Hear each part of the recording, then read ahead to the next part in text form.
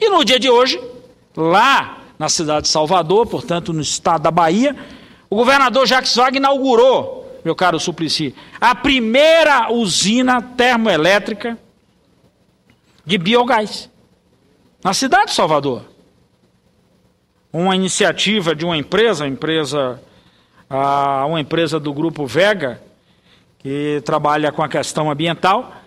Essa primeira usina é, de termoelétrica de biogás, estou falando a primeira do Nordeste, portanto, trabalhará, trabalhará com 2,5 milhões de toneladas de resíduos, ah, são 50 milhões de investimento.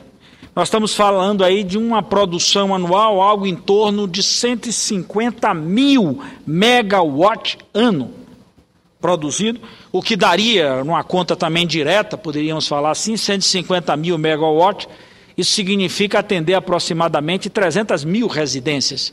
Estou me referindo isso a essa produção, atendimento no ano. Portanto, fonte alternativa. É? Outra alternativa, que é uma alternativa viável, quando muita gente diz, ah, mas isso é numa escala muito reduzida, isso é numa escala baixa. Eu estou falando aqui de 150 mil megawatt ano, 300 mil residências, num investimento de 50 milhões de reais, pai.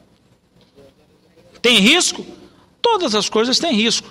Mas esse risco aqui, além de ser menor, a matéria-prima que nós utilizamos para isso é o lixo doméstico, que é recolhido todos os dias nas ruas das nossas cidades. Portanto, matéria-prima capaz de ser utilizada e de forma, eu diria agora, é, com um efeito prático e direto, além da contribuição para a geração de energia, nós também contribuímos para o meio ambiente.